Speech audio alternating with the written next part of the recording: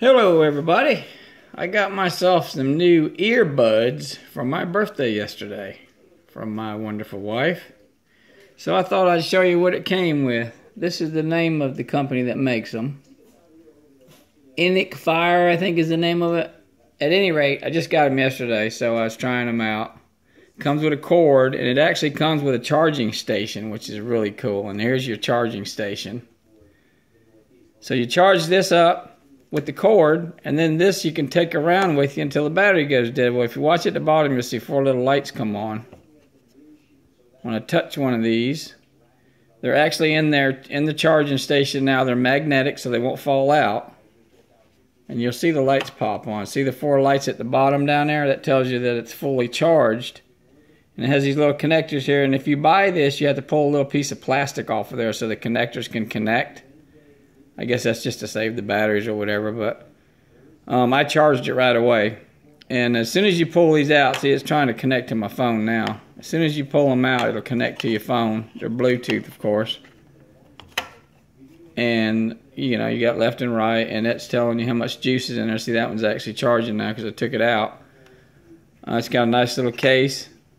Put it in your purse or in your pocket or in your car, wherever you want to put it the sound is phenomenal. I love the sound. I had bought some cheap ones last week, and they were so bad I actually gave them to my wife. I said, "Here, you can use them or throw them out," because I wasn't even going to take them back. And uh, she bought me these. She paid fifty bucks for them on Amazon,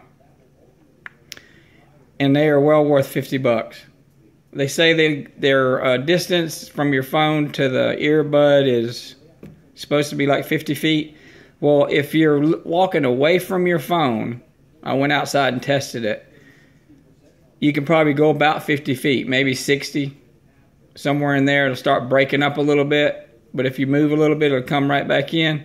But if you're facing the phone, you can actually back away from it. I'd say at least 150 feet. But there was nothing in, in front of us, you know, nothing uh, obstructing the signal because I was outside, of course. So that might vary.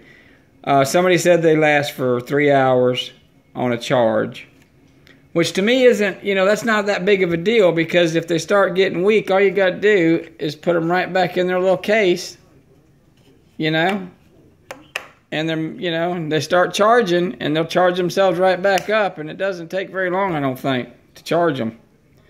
So it's, I think it's pretty good for 50 bucks. It's, uh, I think it's a pretty good uh, set.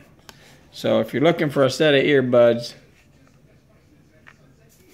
check them out, man, for 50 bucks. I think they sound good. They got uh, extra little ends for your buds.